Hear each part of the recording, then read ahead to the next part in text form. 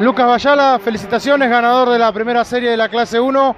Sensaciones de lo que ha sido esta victoria para vos. Bueno, muchas gracias. Sí, la verdad que realmente muy contento. Una muy buena serie, pudimos girar rápido, así que, eso era lo importante. Obviamente salir a ganarla, pero tratar de hacerla rápida para largar bien adelante mañana. Así que vamos a ver qué es lo que pasa en la otra serie, pero tenemos un gran auto. Lucas, contame cómo fue la serie de principio a fin. Hubo algunos despistes, eh, todo lejos de vos. ¿Cómo te ibas concentrando para hacer la diferencia?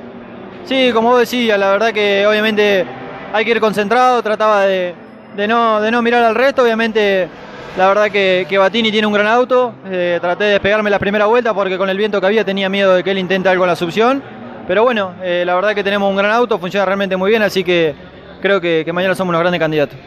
¿Dónde está el fuerte del auto para mañana, la exigencia eh, mayor de lo que va a ser el fin de semana?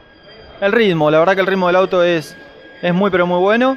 eso es lo que me deja contento, así que bueno, tenemos para calzarle dos gomitas nuevas para mañana, nos vamos a jugar el todo por el todo para tratar de arrancar el año lo más arriba que podamos. Lucas, gracias por estar en Mundo Sport y que sea con suerte el resto del fin de semana, ya mañana con la final. Bueno, bueno, muchas gracias. Agradecerle a usted por la nota, por estar acompañando la categoría. Eh, como siempre, a toda mi familia, a todos los sponsors, a Jorge Piedra, a Adriana Spoon, a todos los chicos que laburan en el auto, muchísimas gracias y esperemos mañana tener un buen resultado.